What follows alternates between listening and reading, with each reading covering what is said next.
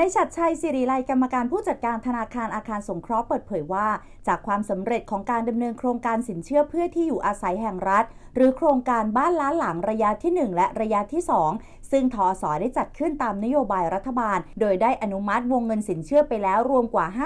59,800 ล้านบาท และเพื่อสารต่อโครงการดังกล่าว ที่ประชุมคณะรัฐมนตรีเมื่อวันที่ 21 กุมภาพันธ์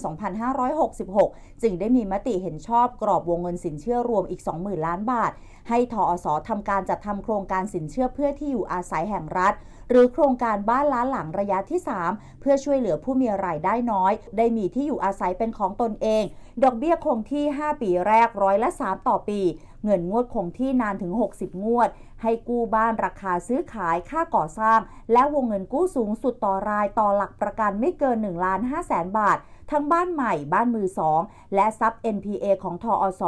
พร้อมฟรีค่าประเมินราคาหลักประกัน และค่าจดทะเบียนนิติกรรมจำนอง โดยสามารถรับรหัสเข้าร่วมโครงการได้ผ่านทางโมบายแอปพลิเคชัน GHB All Gen และที่ GHB All ตั้งแต่วันจันทร์ที่ 27 กุมภาพันธ์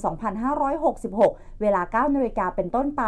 สอบถามรายละเอียดเพิ่มเติมได้ที่ทอสทุกสาขาทั่วประเทศ GH Bank Call Center หมายเลขโทรศัพท์ 026459000 หรือ Facebook Fanpage ธนาคารอาคารสงเคราะห์ และติดตามข่าวสารของธนาคารได้ที่โมบายแอปพลิเคชัน GHB All GHB All Gen และที่ www.ghbank.co.th